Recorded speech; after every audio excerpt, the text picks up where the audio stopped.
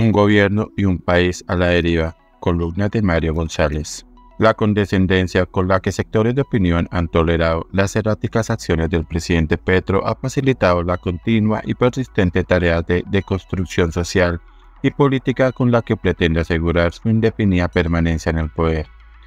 Todavía hay quienes lo emeritan creyendo que el sátrapa en ciernes no tiene ideas sino ocurrencias o que padece de trastornos mentales y por ello estarían dispuestos a concurrir nuevamente a un diálogo nacional que no tiene más objetivos que el de permitirle la demolición de la institucionalidad y su sustitución por otra arquitectura que constituya la más radical expresión de su añejo y fracasado credo ideológico.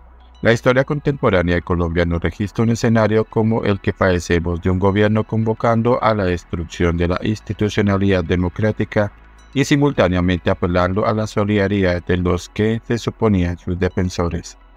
Libre de esos obstáculos no necesita expresar voluntad de concertación, sino apresurar el derrumbe de los valores y de las formas que sostienen al régimen odiado, sin importarle las concesiones transitorias a las que se ve obligado ni los padecimientos que provocarán en la sociedad colombiana, que son apenas meras exigencias de la deconstrucción creativa. Ello implica sus indiferencias con la crisis que se acumulan y sus insistencias en una paz total que aporte los sustentos de los que aún carece para dar forma a la institucionalidad que procura levantar. Hoy procede con el desfinanciamiento de las tres mayores EPS para activar una crisis sanitaria que cobrará millones de desamparados que no resolverá con médicos ambulantes ni con un sistema hospitalario público pobre y huérfano de tecnologías avanzadas. Se dispone a perdonar a miles de delincuentes bajo el manto de insurgentes políticos, así sean solamente asesinos perversos porque considere relevante si tienen o carecen de carácter político para negociar con ellos. El objetivo es hacer creíble el artículo 22 de la Constitución Nacional, en particular para los excluidos sometidos a las dinámicas armadas como lo dijo sin sonrojarse el comisionado de paz en la Corte Constitucional.